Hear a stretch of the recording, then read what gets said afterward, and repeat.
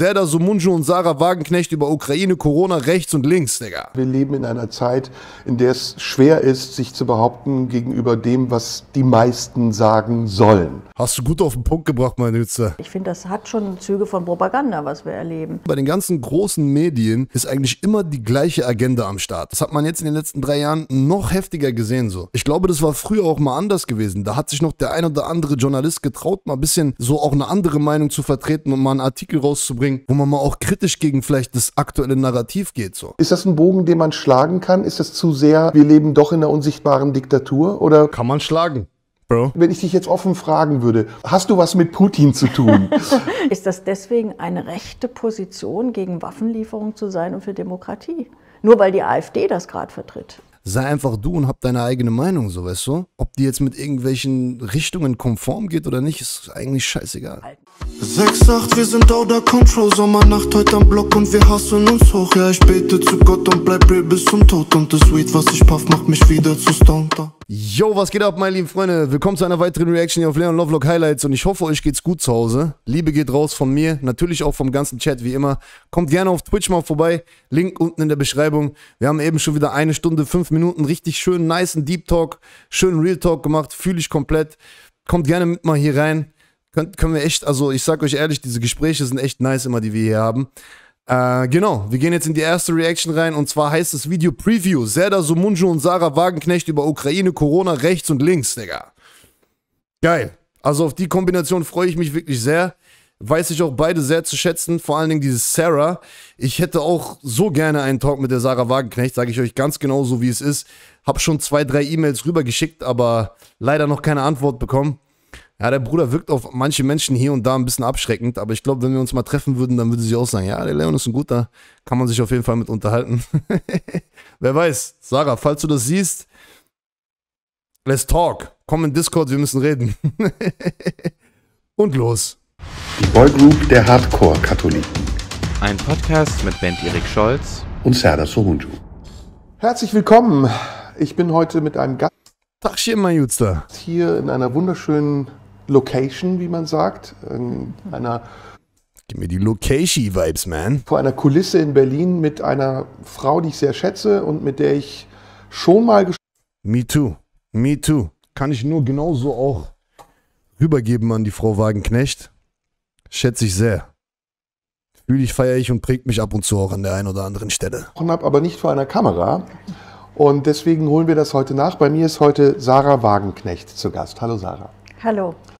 Hallo Sarah, wie geht's dir? Sarah ist auch süß, ne, finde ich. Ich finde, Sarah hat so eine süße Ausstrahlung. Wir duzen uns Gerne. ganz salopp. Wir können aber auch wieder ins Sie. Nein, das fände ich jetzt doch ein bisschen Wie alt ist Sarah eigentlich? Weiß es einer von euch? künstlich. Sarah, es ist sehr schön, dass du da bist, weil ich finde, es gibt niemanden oder wenige, mit denen man im Augenblick über die Themen sprechen kann, die uns alle beschäftigen, die eine so klare Meinung haben wie 53, ist dein Ernst? 54? Ohne Scheiß? What the fuck? Nee, Digga. Jetzt ehrlich? Krass. Die gibt mir auf jeden Fall jüngere Vibes, wenn ich das so sagen darf. und äh, wie ich finde, sogar eine ja fast unbeugsame, klare Meinung Dankeschön. haben wie du. Ähm, gleichzeitig muss man aber aufpassen, oder ich will aufpassen, dass ich nicht zu sehr in Schleim gerate heute. denn ich weiß, dass wir natürlich in vielen Fragen einer Meinung Kleine Schleimer, ist ja da, wa? sind, aber wir werden herausfinden, ob es ein paar Dinge gibt, in denen wir vielleicht nicht einer Meinung Na sind. klar. Also erstmal schön, dass wir diese Gelegenheit haben. Ähm, du kommst gerade woher? Aus dem Bundestag. Aus dem Bundestag. Du bist noch, Abge noch Abgeordnete der Linkspartei. Genau. Mhm. Wie ist dein Stand in der Partei? Mögen die? Da ist ein bisschen Beef, ne? Also es gibt schon einige immer noch, die mich mögen, auch wenn man das öffentlich vielleicht gar nicht so wahrnimmt. Also ich glaube schon, dass es bei den Mitgliedern, aber auch in der Bundestagsfraktion habe ich natürlich auch Leute, die genauso die Dinge sehen wie ich und die mich auch unterstützen. Aber es gibt natürlich auch einen sehr, sehr starken Flügel, der also nichts mehr herbeifiebert als den Tag, wo ich endlich gehe. Also, Kann man die namentlich äh, benennen? Ach, das ist dann vielleicht immer auch so ein bisschen Ja, ja, Zelda will Fitner machen, wa? Soll Aber es ist ja, raten? sag mal, einige sagen es ja auch ganz offen. Ja. Also klar, das ist dann mehr im Parteivorstand als in der Fraktion, aber ja, ein paar Namen sind, glaube ich, auch bekannt. Ja. Ich habe eben gesagt, wir sind in vielen Dingen einer Meinung. Ähm, Vor allem, glaube ich, ähm, wirst du mir zustimmen, wenn ich sage, wir leben in einer Zeit, in der es schwer ist, sich zu behaupten gegenüber dem, was die meisten sagen sollen. So. Hast du gut auf den Punkt gebracht, mein Nützer. Ich schwör's dir. Das ist eigentlich schon traurig, diese Aussage alleine, so dass es schwer ist. Ähm, ist das schon eine vage Behauptung, die ich gerade mache, oder empfindest du das auch so? Gibt es so einen Common Sense, an den man sich halten muss? Es gibt einen ganz massiven Mainstream, der eine bestimmte Mainstream, na Mann. Geil, Digga, wenn deutsche Stream sagen, Bro. Mainstream. Position propagiert. Also ich nehme auch bewusst wirklich diesen Begriff, weil ich finde, das hat schon Züge von Propaganda, was wir erleben. Und die Medien erfüllen ihre Hundertprozentig. In vielen Hinsichten so, weißt du? Damals bei der Corona-Krise, heutzutage bei der Russ Russland-Ukraine-Krise. Das ist schon eine Art Propaganda, die da betrieben wird, um die Menschen auf ihre Seite zu holen und dass alle irgendwo gleichgeschaltet sind. Und vor allen Dingen, du hast doch gar kein, du hast gar keine richtige Alternative mehr so. Du hast gar keine Opposition mehr. Vor allen Dingen nicht bei den Großen. Bei den Großen, bei den ganzen großen Medien ist eigentlich immer die gleiche Agenda am Start. Das hat man jetzt in den letzten drei Jahren noch heftiger gesehen so. Ich glaube, das war früher auch mal anders gewesen. Da hat sich noch der ein oder andere Journalist getraut, mal ein bisschen so auch eine andere Meinung zu vertreten und mal einen Artikel rauszubringen. Auch von einem großen Haus, wo man mal auch kritisch gegen vielleicht das aktuelle Narrativ geht, so. Aber heutzutage hast du ja wirklich gar keine einzige große Zeitung oder kein großes Medi kein großes Medium mehr, was irgendwie mal äh, eine andere Meinung vertritt, so. Ist alles gleichgeschaltet. Aufgabe nicht, weil das ja eigentlich ihr Job wäre, unterschiedliche Sichten darzustellen. Und ehrlich gesagt, ich finde das wirklich erschreckend. Also selbst in den tiefsten 70ern oder so, ich will das alles nicht verherrlichen. Ich meine, ich habe die Zeit ja auch nur vom rückwärts quasi wahrgenommen. Ich Okay, 70er Jahre war sie noch nicht am Start, dann ist sie doch noch gar nicht 50. Ja, doch, doch. Knapp. nicht erlebt, also nicht bewusst erlebt, aber selbst da war es ja so, natürlich gab es die richtigen kalten Krieger und für die war also jeder Friedensaktivist ein äh, Underdog oder ein, ein, ein U-Boot Moskaus, das gab es alles schon. Aber es gab dann immer Medien, die dagegen gehalten haben. Also wenn die einen die, die Frieden schon, aber es gab dann immer Medien, die dagegen gehalten haben. Also wenn die einen die, die Friedensbewegung diffamiert haben als fünfte Kolonne Moskaus, dann gab es eben auch sehr starke Medien, sehr starke Publikationen, die gesagt haben, was soll denn das, was sind das hier für Typen, die uns sowas erzählen und die dagegen gehalten haben, die gesagt haben, natürlich ist Abrüstung wichtig, natürlich ist die Siehst du? Damals war das noch anders. Raketenaufstellung falsch. Und heute ist es Es ist halt immer weniger geworden mit der Zeit. Es wurde immer mehr gleichgeschaltet, immer mehr gleichgeschaltet, bis wir dann an dem Punkt waren, wo wir alle gemerkt und gesehen haben, dass alle an einem Strang ziehen. Und jeder, der nicht an einem Strang zieht, der ist was Böses. Der ist, den muss man bekämpfen. Diese Situation wurde geschaffen. Und das ist eine Sache, wo eigentlich jeder rea hätte realisieren müssen, so, ey, das kann nicht sein. Egal welche Meinung ich gerade bin, egal was ich jetzt gerade vertrete, es kann nicht wahr sein, dass du nicht mal eine andere Meinung äußern darfst, ohne mit Konsequenzen zu rechnen. irgendwie alles in eine Richtung. Also wenn man sich nicht im Internet informiert oder eben die sogenannten alternativen Medien äh, wahrnimmt, wenn man wirklich nur öffentlich-rechtliches Fernsehen guckt, FAZ liest, Zeit liest, Spiegel liest, da ist relativ wenig an anderen Meinungen. Also ab und an kommt mal was durch, aber sehr, sehr wenig. Du bist Safe. direkt im Thema, ich merke das, aber ich würde gerne noch Im Thema Hidden Man. Nee, es war aber auch schon bei Corona so. Also es ist nicht nur So, lass raus, Sarah. Das ist eine, die spricht Real Talk. Weißt du, wie ich meine? Ohne Blatt vor dem Mund. Ukraine-Krieg so. Also wir haben generell so einen Trend äh, zum, zur Konformität, auch zu einem starken Konformitätsdruck, also dass Menschen auch zumindest, wenn sie vielleicht im öffentlichen Dienst arbeiten, Universitäten, Schulen, glaube ich schon auch empfinden äh, eine, einen unglaublichen Druck, sich einer bestimmten Meinung anzupassen oder Nicht nur im öffentlichen Dienst oder in den Schulen oder so, sondern auch wenn du Person des öffentlichen Lebens bist. Weißt du, wie ich meine? Wenn du Person des öffentlichen Lebens bist, so. Das merkst du ja bei denen, merkst du das ja auch. Wie viele Leute kenne ich, die eigentlich hinter den Kulissen die gleiche Meinung hatten wie ich zum Beispiel damals, wo ich mein Treppenhaus-Video gemacht, haben, gemacht habe, so. Aber sich niemals getraut hätten, diese Meinung nach außen hin zu äußern, weil sie dann wussten, okay, danach werde ich gebasht, so. Und dann halte ich lieber meine Schnauze. Das zieht sich durch alle Bereiche durch. Zumindest, wenn sie davon abweichen, ihre nicht mehr zu sagen. Oder dazu zu stehen. Du bist eine Reizfigur für viele, weil du eben aus diesem Kontext kommst und viele oder manche dir unterstellen, du wärst eine Marionette. Äh, zum Beispiel Putins Marionette, die fünfte Kolonne oder was man dir alles unterstellt, auch in den Medien. Du wärst bezahlt aus Moskau ähm, und du würdest hier Propaganda machen für Moskau.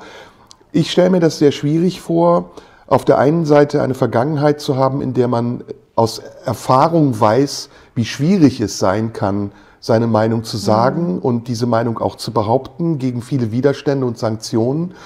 Und wie verheißungsvoll es vielleicht gewesen sein mag, aus dieser Vergangenheit in eine Gegenwart zu kommen, die, ich sage jetzt mal, scheinbar demokratisch ist, aber wie frustrierend es auch gleichzeitig ist zu merken, dass dieselben Scheinbar demokratisch, hast du gut ausgedrückt, mein Jutster. Prinzipien, die irgendwann mal funktioniert haben, unsichtbar jetzt doch wieder zu funktionieren scheinen. Ist das ein Bogen, den man schlagen kann? Ist das zu sehr, wir leben doch in einer unsichtbaren Diktatur? Oder würdest du sagen, es gibt Elemente, Kann man schlagen, Bro. Mach dir keine Sorgen, kann man schlagen. die du wiedererkennst? Also Diktatur würde ich deshalb nicht sagen, weil man, man kommt nicht ins Gefängnis. Also noch ist das zum Glück wirklich in Deutschland Noch, sagt ja sie. nicht. Äh, Man wird sanktioniert, als aber man Künstler wird gecancelt, als. Politiker. Ja, du wirst, du, du musst nicht, wirst, kommst nicht ins Gefängnis und wirst noch nicht getötet für eine andere Meinung so. Ganz klar. Also wir haben keine China-Zustände, das muss man so sagen, wie es ist. Und das sollte man, sollte einem auch bewusst sein, dass man eine gewisse Freiheit noch hat in der Meinungsäußerung. Nichtsdestotrotz hast du extrem mit extremen Konsequenzen zu rechnen. Mit extremen Konsequenzen, die dich auch hart beeinflussen können. So, ne? Manche Leute bis zum Selbstmord sogar beeinflusst haben. So. Und das ist schon eine Sache, die ist beängstigend. Die Frage ist, wo rutschen wir da gerade rein? Weißt du, wie ich meine? Wie sieht das in Zukunft aus? Wenn das damals so war und heute so aussieht, wie sieht es in fünf Jahren aus, in zehn Jahren aus? Und will man da wirklich reinrutschen? Also Ähm, sozial. Sozial wird man unterdrückt. Das ist noch was anderes als Gefängnis, aber es ist eine Form der Repression. Und die haben wir zunehmend und in wirklich beängstigender Weise. Und ich meine, da bin ich aber nicht vom Staat. Auch vom Staat teilweise. Also es gibt Leute, die haben jetzt mit Klagen zu kämpfen, die sich bei Corona geäußert haben. So. Teilweise wurden Leute auch äh, äh, wirklich auch vom Staat sanktioniert. Teilweise. Nicht viele, aber es gab welche. als Politiker mh, relativ unabhängig, weil ich kann, also ich meine, ich werde ja nicht entlassen. Also ich meine, im schlimmsten Fall bin ich nicht wieder im Bundestag, aber ich werde, ich muss nicht Angst haben um meinen Job. Also wie jemand, der eben zum Beispiel als Lehrer oder als, ich weiß nicht, irgendwo im öffentlichen Dienst arbeitet. Ne? Man Oder kann auch als Journalist. äh, Man kann man Kampagnen dann- anzetteln, man kann in deiner Vergangenheit kramen und herausfinden, findet dass du man so irgendwo viel. mal ja, eine Plagiatsarbeit abgegeben hast oder Ich wette, die haben alle meine Sachen geprüft. Also da bin ich mir ziemlich Und was ich noch dazu sagen will, man weiß auch nie, inwiefern der Staat auch involviert ist. Man hat es ja bei den Twitter-Files in Amerika zum Beispiel gesehen, dass der Staat da da involviert war bei der Zensur und bei dem Löschen von, von Accounts und Social-Media-Kanäle einschränken und bannen etc. Man hat ja bewiesen bzw. gesehen, dass die CIA da mit involviert war. Wer weiß, wie das in Deutschland war, jetzt zum Beispiel bei einer Cancellation äh, äh, mir jetzt gegenüber oder anderen Leuten gegenüber, inwiefern auch der Staat da einen Einfluss hat auf die Medien oder auf die Leute, die dann diesen Cancel-Film anschmeißen, so. Weißt du? sicher. Also äh, ich glaube, wenn ich Leichen im Keller hätte, die wären schon irgendwo gefunden worden. Nein, aber es ist trotzdem, ich meine, in einem Punkt hast du ja recht. Es ist ein Niveau, was jetzt an Debatte stattfindet, äh, wo man sich schwer wehren kann. Also ich habe ja jetzt diese, diese Story da, die von der Washington Post kam. Also Putin hatte einen finsteren Plan, Wagenknecht soll mit der AfD. Nun hat die Washington Post korrekterweise immerhin noch geschrieben, dass es überhaupt keine Anhaltspunkte dafür gibt, dass ich jemals kontaktiert wurde oder irgendwie im Kontakt mit dem Kreml stehe. Aber in den deutschen Medien wurde diese Story so verpackt, dass es eigentlich fast schon so aussieht, dass es da eine Absprache mit mir gab oder ein, ein wirklich, äh, ja, ein, ein, ein gemeinsames Projekt. Und das läuft ja nach dem Motto, wer viel Dreck schmeißt, äh, der erreicht zumindest, dass irgendwas hängen bleibt. Und sich dagegen zu wehren, ist, ist unheimlich schwer. Also Kannst manchmal Ist so. Viele Sachen sind auch gar nicht mehr umkehrbar, so, weißt du? Wenn du einmal äh, gewisse Dinge versucht, also wenn dir einige Dinge versucht werden anzuhängen und dann wird es ja auch nie wieder richtig klargestellt oder so. auch bei diesen ganzen Vorwürfen gegen Leute, zum Beispiel, die, keine Ahnung, Alter, Johnny Depp und so, gab es ja auch dann hier Vergewaltigungsvorwürfe und da, auch bei Kennedy oder bei Park oder bei Andrew Tate oder bei DMX. Danach diese Vorwürfe wieder wegzubekommen, wenn die ganze Medienmaschinerie schon daran gearbeitet hat, diese Jungs zu diffamieren, so, Bro, das kriegst du auch nicht mehr weg. Da bleibt immer ein bisschen was hängen. Ich habe auch das Gefühl, pff, vielleicht bringt es alles nichts. Die, die machen mich sowieso fertig. Aber andererseits sage ich, nee, ich will denen nicht diesen Sieg lassen. Also, Kannst Stark, Sarah, immer stark bleiben. du, also ich verstehe, was du meinst. Ich kenne den Gedanken, an dem man immer so entlang laviert. Entweder zu sagen, es ist mir echt zu müßig. Ich habe es jetzt tausendmal gesagt, es wird langsam redundant und man spart sich lieber die Kraft. Oder dass man sagt, nee, jetzt erst recht. Ähm, aber glaubst du, es gibt auch eine Möglichkeit heutzutage, in, in einer Zeit, in der ja die, die Wahrheit sehr relativ ist, also man kann ja sehr viel subjektive Wahrheit zu, zu, zu einer objektiven Wahrheit ummünzen, indem man es einfach so oft vervielfältigt wie möglich und irgendwann alles nachplappern. So funktioniert der Laden, Bro. Hast du gut erkannt. Glaubst du, es gibt überhaupt noch eine Möglichkeit, Dinge durch Fakten zu widerlegen? Also wenn, wenn ich dich jetzt offen fragen würde, hast du was mit Putin zu tun?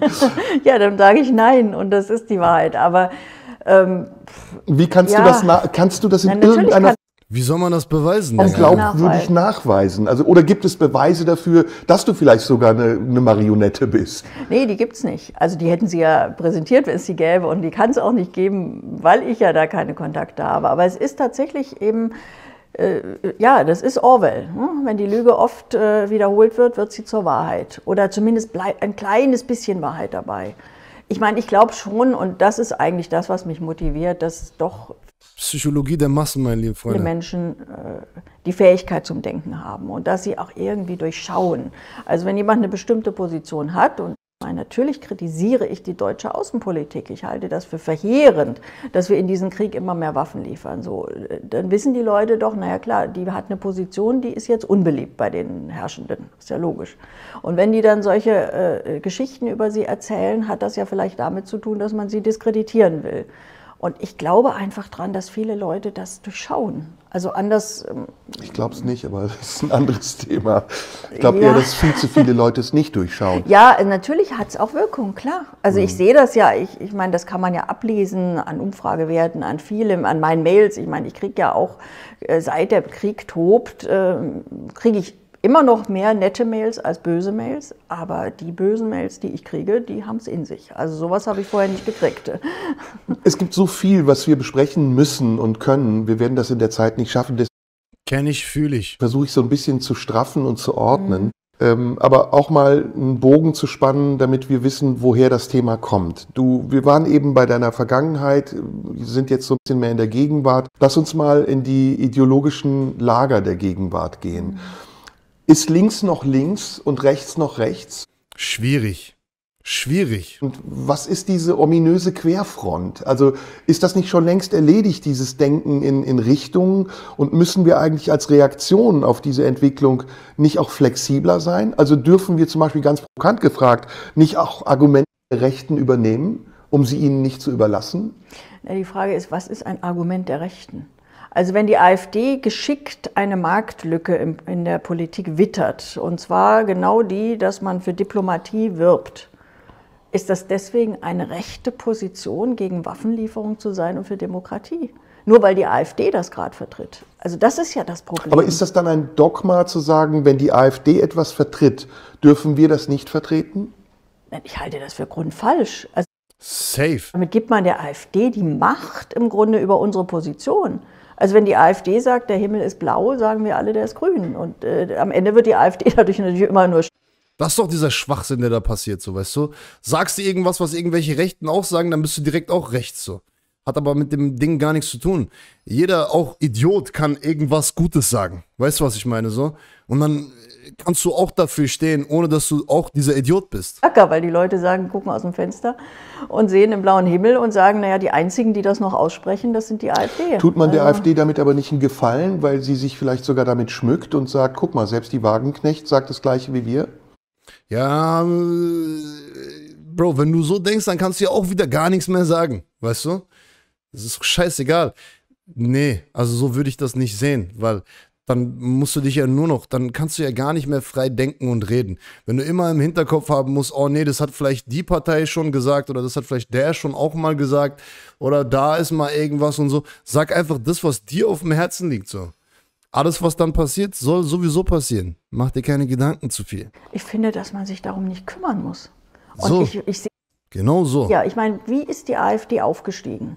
Die AfD hat Dinge angesprochen, natürlich gefärbt in ihre Richtung, aber wo viele Leute gesagt haben, okay, da, sind, da ist ein echtes Problem.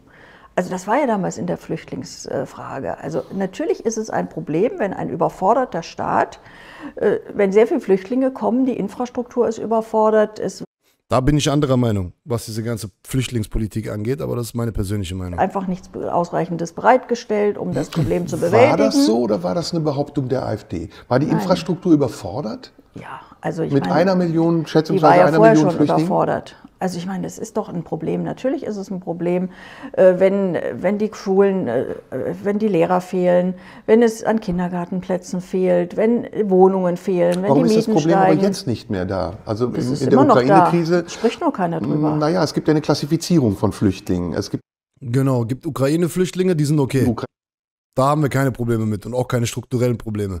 Weil die sind ja weiß und blond. Flüchtlinge, äh, die es relativ einfach haben, hier hinzukommen und dann auch Förderungen erhalten. Genau, aber die Leute empfinden das bei den Ukraine-Flüchtlingen doch genauso als Problem. Also auch da ist die Infrastruktur Wer sind die. Leute? Ja, das, das, das finde ich gut, Seda. Machst du gut gerade, weil ich sehe das ähnlich wie er. normalen Bürger. Also ich kriege Mails von Leuten, die mir sagen, ja, Was sind Das liegt auch vor allen Dingen nicht daran, dass die, das liegt daran, wo die Politik auch ihre Gelder hingibt. So, wir könnten mehr Lehrer haben, wir könnten mehr äh, diese ganzen strukturellen Sachen auch fördern und da gucken, dass Menschen, die hierher kommen, auch besser integriert werden und diese ganze Geschichte. Das könnten wir alles tun, aber wir pumpen das Geld lieber in Waffen, um Krieg zu machen. alle Bürger? Entschuldige, du musst mir Naja, erklären, eine Mutter zum Beispiel, die sich um einen Kita-Platz für ihr Kind bemüht und die dann, das mag ja sogar ungerecht sein, aber mir sagt, okay, jetzt haben jetzt ukrainische Kinder, haben diese Kita-Plätze bekommen, ich kriege keinen, ich kann keinen Job annehmen, bleibe in Hartz IV, weil ich mein Kind nicht in die Kita bringe. Schreiben mir Leute. Okay, aber sind wir jetzt nicht. äh, Ich äh, spiele Also ein ob das den, jetzt stimmt oder ich nicht, spiele ich, ein kann bisschen den Advocatus prüfen, Diaboli. aber es ist, es ist ein Problem. Ja, ja, aber lass uns da bleiben. Also wir wollen ja die Frage besprechen, wie nah geraten wir an die Argumentationslinie der AfD, wenn wir unsere Position beibehalten, ohne Rücksicht darauf, dass wir verdächtig sind.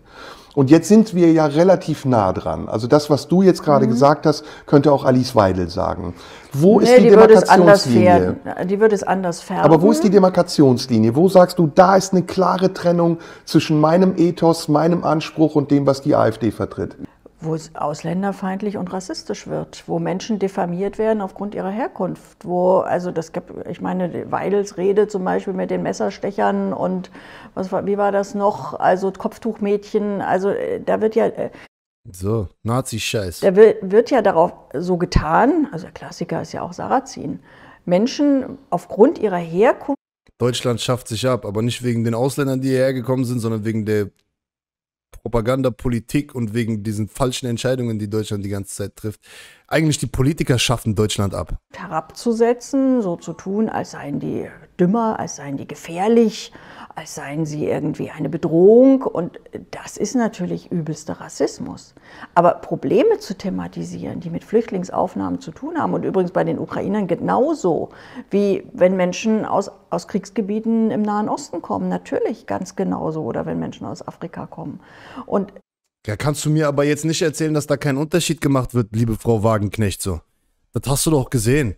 Ukrainer wurden mit Kusshand hier aufgenommen und die haben direkt, Bro, Bro, die haben Geld gekriegt, die konnten überall arbeiten. Auf einmal haben in jedem McDonalds nur noch Ukrainer gearbeitet, zu der Zeit, in Mannheim, bei uns. Die durften überall arbeiten, die haben Geld bekommen, die haben Jobs bekommen, die durften in die Schule gehen, die konnten alles machen so. Ich kenne Flüchtlinge aus, Länge, aus Ländern, die durften nicht mal arbeiten, wo sie hierher gekommen sind, weil sie keine Arbeitserlaubnis gekriegt haben. Und die wurden wie Scheiße behandelt, in irgendwelche Lager reingedrückt und kein Schwanz hat sich um die gekümmert. Und das muss man mal so ansprechen, wie es auch einfach ist. Das ist eine Zweiklassengesellschaft und die Menschen wurden anders behandelt als Menschen, die zum Beispiel schwarz sind oder aus einem muslimischen Land kommen. Facts.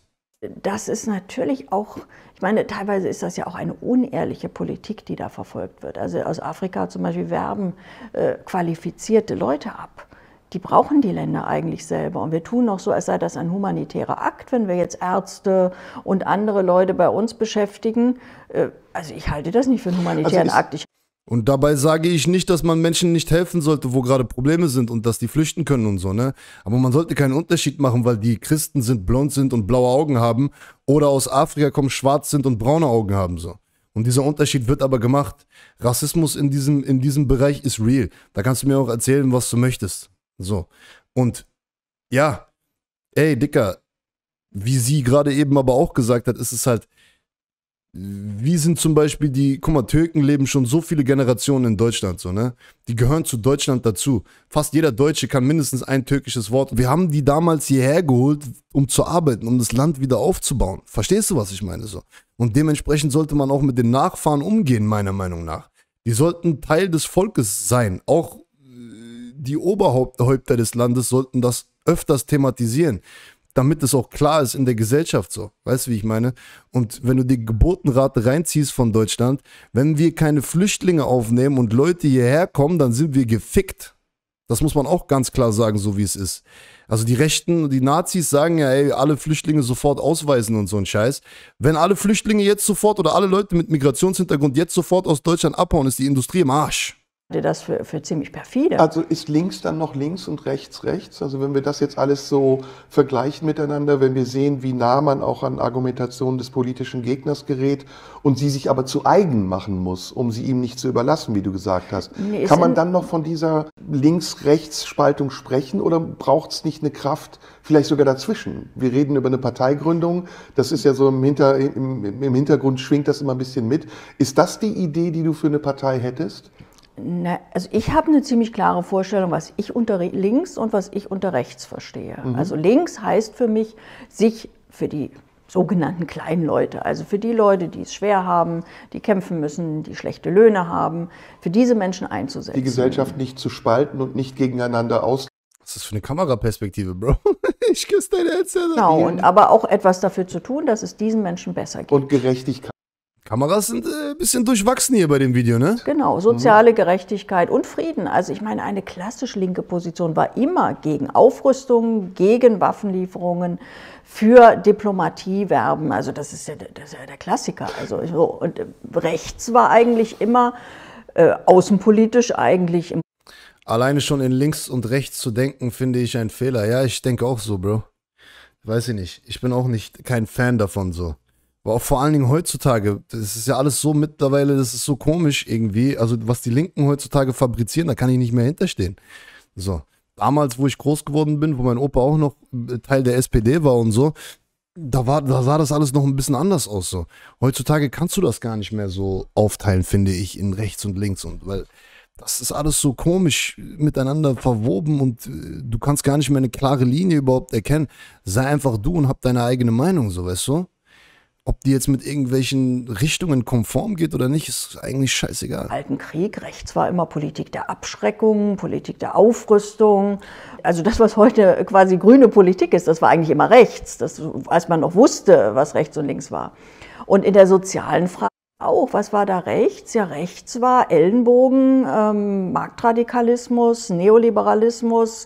Äh, Der Markt richtet alles, wir privatisieren, wir schleifen den Sozialstaat. Das war rechts. so, das heißt, das ist eigentlich eine klare, für mich eine klare Sache. Nur in der öffentlichen Debatte äh, verstehen, glaube ich, viele Menschen nicht mehr, was rechts und links Da ist, weil sie drauf. vermeintliche Linke erleben, die eigentlich eine rechte Politik machen und anderen, die nach meiner Meinung linke Positionen vertreten, wird vorgeworfen, sie seien rechts, weil sich bestimmte Dinge dann mit der AfD Da kommen wir überschneiden. noch drauf, auf die, auf die Rolle der Medien und der Öffentlichkeit oder der Presse auch.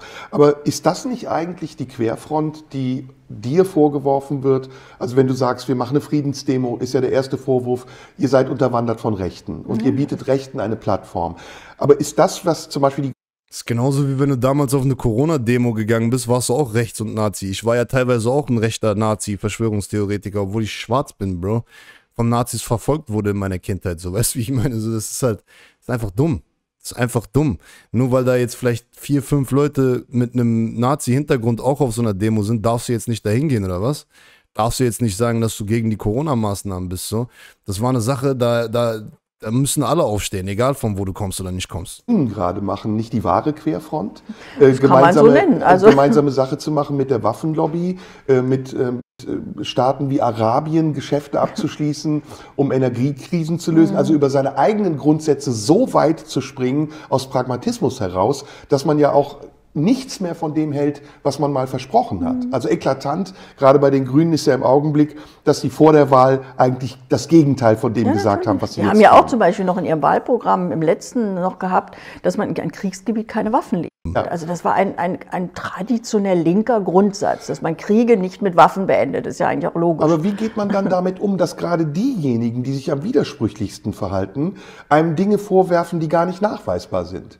Also sie werfen dir ja das vor, was sie selbst tun. Ja, ja, also ich meine auch in anderer Hinsicht. Ich meine, die haben zum Beispiel überhaupt kein Problem mit einem Botschafter wie Herrn Melnik, also engste äh, freundschaftliche Beziehungen zu pflegen. Ich meine, Melnik ist ein Verehrer des Nazi-Kollaborateurs äh, Stepan Bandera. Der Aber beteiligt das, war am massenfachen An Mord an Massenmord, ja, Juden. ja. Und er wird von Leuten in Schutz genommen, die selbst Juden sind, wie zum Beispiel Digga, ist krank. Henrik M. Broder, wie ich gestern gesehen habe. Also nicht, ja, nicht, also äh, es ist äh, wirklich, ähm, nicht Bandera, aber Melnik. Ja, ja, Melnik. Also und ich meine, und da haben sie gar keinen, ich meine, das ist eine echte Querfront, wenn einer ein Nazi-Verehrer ist. Also das ist wirklich äh, erschreckend. Aber das zeigt, dass einfach äh, die öffentliche Debatte alle Relationen und jeden Kompass verloren hat. So, da sind wir jetzt. Warum ist das so? Warum ist die öffentliche Debatte im Moment, so empfinde ich es jedenfalls, so eingleisig? Warum wird alles, was neben der Spur ist, verunglimpft, bedroht, sanktioniert, ausgegrenzt? Warum ist das in einer Demokratie nicht möglich, zu sagen, okay, diese Frau ist anderer Meinung als Weil es nicht so leicht zu steuern ist, wenn Menschen auf einmal wieder Opposition bilden und ihre eigene Meinung vertreten und nicht mehr gleichgeschaltet sind mit dem Narrativ, was die Politik und die Medien und die Mächte hinten dran äh, entscheiden. Weißt du, wie ich meine so? Das ist einfach gefährlich, ist einfach nicht mehr dann, ist nicht mehr so einfach, weißt du? Und die wollen sich den Laden ja so einfach wie möglich machen. Und wenn die merken, dass es sogar funktioniert und dass wenige sich dagegen auflehnen, dann ziehen wir es doch so durch, ist doch geil. Hier. Entspannter für uns. Aber diese Meinung darf gelten, sie darf Platz haben und sie muss gehört werden. Warum ist das im Moment so schwer? Ja, Man könnte natürlich brutal sagen, äh, weil einige sich im Krieg befinden. Also ein Land, das sich im Krieg befindet, ist nie demokratisch. ja. Und Frau Baerbock äh, war- ist ja der Meinung offenbar, wir führen Krieg gegen Russland, hat sie zumindest selber gesagt. Aber ich will es jetzt gar nicht auf die witzige Schiene bringen. Es ist ja tatsächlich so. Baerbock ist witzige Schiene auf jeden Fall. Ich meine, der Ukraine-Krieg ist ein Stellvertreterkrieg, äh, völlig eindeutig. Also ich meine, warum liefern wir in diesem Ausmaß Waffen? Es gibt so viele Kriege auf dieser Welt, wo sich der Westen nicht engagiert und die ihm ziemlich egal sind. So und da, was, was ich auch nicht, also also die richtige Lösung finde. Ich sage jetzt nicht, dass wir uns nicht um Kriege kümmern. Wir sollten versuchen, sie zu beenden. Aber äh, das ist ein Krieg, wo man also in, mit Milliarden Summen, ich meine, das ist ja irre, was wir da also an, an Waffenlieferungen inzwischen verantworten, die USA vor allem, aber auch Deutschland, auch Europa. Und natürlich ist ein Stellvertreterkrieg. Und wir sind in diesen Krieg inzwischen so tief involviert, dass man auch natürlich das, was man früher Heimatfront nannte, also die öffentliche Meinung im eigenen Land, da soll am besten keine Gegenposition sein. Und deswegen haben wir auch damals bei Das nennt man Propaganda, wie eingangs erwähnt. Friedensdemo und bei dem Manifest einen solchen Gegenwind gehabt. Also ich meine, ich habe schon bis, oft zum, bis zur Wut. Also es ist ja das, Ja, was ja. euch entgegenschlägt, ist ja nicht nur Gegenwind. Sondern ja, das ist also ja Wut und Hass. War übrigens eine starke Rede, Sarah, auf, der, auf dieser Demo oder auf diesem, auf diesem äh, Friedens, äh, wie hat es genannt gerade? Weiß ich nicht genau, aber war eine starke Rede, haben wir auch drauf reagiert. Könnt ihr euch gerne zu Gemüte führen, auch auf diesem Kanal hier online, Sarah Wagenknecht. Einfach Sarah Wagenknecht, Leon Lovelock irgendwie Rede eingeben, dann findet ihr den Laden. diese Verunglimpfung. Ja, ja. Und es sind Behauptungen, die einfach ja erstmal unwahr sind und Mhm. nicht nachweisbar, aber die auch dazu gedacht sind, euch zu schaden. Also es ist so, Ja, dass Manifest. Stark. Das- Manifest war dieses Dokument dann, ne? Diesen Vertrag oder diesen, diesen, die Unterschriften auch gesammelt haben, oder? Zitieren. Ja. Also man möchte jeden, der irgendwie für eine diplomatische Lösung wirbt, als Agenten Moskaus äh, abqualifizieren. Wobei Da haben die da immer ihre äh, Agenten Moskau, AfD, Nazi, rechts. Das sind die Keulen, die heutzutage abgehen, wenn du eine andere Meinung hast. noch nicht mal und als potenzielle Kollaborateurin der Nazis. Auch noch dazu. Also ihr seid Agentin Moskaus, aber ihr duldet unter euch auch Nazis. Also ihr seid Ja, ja, na, in das ist ja dann- Hinsicht äh, unterwandert. Na gut, das ist sowieso ein alter Trick. Der ist jetzt tatsächlich auch nicht erst jetzt erfunden worden, dass man Demonstrationen dadurch diskreditiert, dass man irgendeinen Rechten auf dem Platz findet und dann sagt, die ganze Demo ist rechts. Ich schwör's dir. Das hatten wir auch schon zu Corona-Zeiten. Genau so, Sarah, genau so hatten wir das bei Corona-Zeiten. Und am Ende führte, führt es dazu, dass tatsächlich Rechte oft dann diese Ja. Bewegung übernehmen, weil man, wenn man natürlich äh, den Leuten oft genug sagt, das ist eine rechte Bewegung, äh, dann hatten, haben sie irgendwann auch kein Problem damit, dass die Rechten dann die Organisatoren werden. Das ist also ganz, eine ganz perfide Wäre es Strategie. dann nicht klüger zu sagen, es ist egal? Naja, es ist egal, egal kann es mir nicht sein. Ich meine, wenn man mich als rechtsoffen diffamiert, dann ist das ja eine Diffamierung. Also ich, meine, ich habe ja vorhin gesagt, was ich unter rechts und links verstehe. Also Ja. Ja, man kann sich halt auch nicht um alles kümmern, so, ne? So. Ich gehe auch nicht auf alles ein, was mir untergejubelt wird. Egal, ich bin ich. ich will mit rechts nichts zu tun haben, Gut, mit Rechtsradikalen. zu Die Frau, diese Frau spittet nur Wahrheit am Mike. Fühl ich? dass es jemand behauptet? Du, du beweist es ja nicht. Dein gesamtes Sprechen. Naja, man, man diskreditiert, also es gibt natürlich viele Menschen, die nicht zu einer Kundgebung gehen wollen, wo man ihnen im Vorfeld erzählt, Rechte mobilisieren. Also so hat man ja auch bei uns, man hat ja so getan, als würden massenhaft, teilweise vielleicht sogar richtig Nazi-Kameradschaften da auflaufen, was ja Und dann Steiger in erster Reihe, Bruder. Wisst ihr doch? völlig absurd und die war. Zahlen der Demonstranten sind runtergerechnet Ja, das worden. hat man sowieso- Und die Zahlen der Rechten sind hochgerechnet worden, was ja auch Propaganda war. Ja, na gut, die Zahlen der Rechten konnten sie so richtig nicht hochrechnen. Also neun Rechtsradikale wurden gesichtet unter 50.000, okay. Fortsetzung folgt, meine Lieben, Digga. Geil. Cooler Talk auf jeden Fall. Gute Kombination, fühle ich komplett. Irgendwie gibt's, glaube ich, den, hier steht irgendwas hier. Achtung. Das ist ein Vorgeschmack auf das bald erscheinende Interview. Ihr werdet es demnächst auf somunju.de oder auf diesem Kanal nur für Mitglieder sehen können. Kanalmitglieder werden und exklusive Vorteile erhalten. Muss man halt Mitglied werden, so mäßig, ne? Äh, schade auf jeden Fall. Ich hätte mir gerne noch den ganzen Talk reingezogen. Aber war auch so ein guter Talk, finde ich. Zwei Jungs innen, die ich sehr respektiere und feier. Deswegen geil. War eine coole Reaction, hat mir Spaß gemacht. YouTube, ich küsse euer Herz. Danke fürs Einschalten. Liebe geht raus. Peace it out.